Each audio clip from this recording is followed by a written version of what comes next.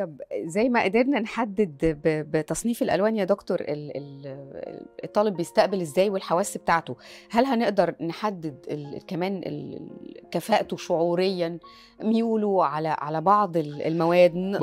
القوة؟ بص حاجة. كل ده علشان يعرف بعد كده يعني يختار كليته يشوف ميوله إيه. حضرتك أنا في دلوقتي توجه على مستوى العالم مش على مستوى مصر أو الدول العربية.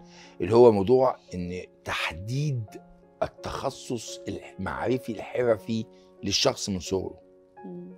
أنا بجد إن ده إزاي بيعلموا الناس إزاي يتسجنوا في ضعفهم؟ أو عشان نكون أكثر دقة بيتسجنوا في قوتهم. أنا عملت شوية اختبارات لقيت الواد ده الشاب ده أو الصبي ده أو البنت الجميلة دي شاطرين مثلا ممكن يكون شاطر في الرياضيات. مثلا. مثلا يعني. واقول إيه ان هو كمان البعد الهندسي عنده قوي والفراغي عنده قوي فينفع مثلا مهندس معماري مثلا أو مهندس إنشائي مثلا. مم.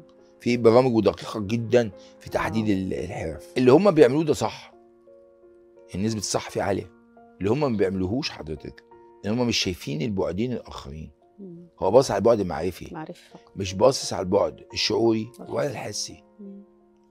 يعني أديك مثال. شابين متخرجين من كلية الطب. والاثنين شاطرين جدا في كليه الطب وطالعين من درجات عالية جدا. بعد ما اتخرجوا بيبدأوا يشتغلوا بقى في مستشفيات وكده. فالاثنين في التدريب بتاعهم واحد حطوه في استقبال المستشفى وهو شاطر قوي وواحد تاني شاطر جدا كان زميله بالظبط وحاطينه في الإنعاش بتاع المستشفى. لو اللي محطوط في استقبال المستشفى ده انطوائي جدا وفي حاله جدا و و و ودايما مشاعره وتواصله مع نفسه عالي جدا. وعنده مشكلة في التوا... وع... ومش بيرتاح في التواصل مع الآخر. لو حطيتيه في استقبال هينتحر. ما ينفعش. مش هيستحمل. آه. بينما بتاع الانعاش اللي اتحط في الانعاش ده اجتماعي جدا ومتحدث جدا وبيحب يسمع. و... وتواصل. واخد بال حضرتك؟ آه، فده في, في الانعاش يموت. طبعا. طب ما هل ده له علاقة بالحرفة بأنه طبيب؟ لا. مش أي علاقة. مم. فالبعد ال- الحسي والبعد شعوري. الشعوري في غاية الأهمية آه. مش البعد معرفي. المعرفي فقط.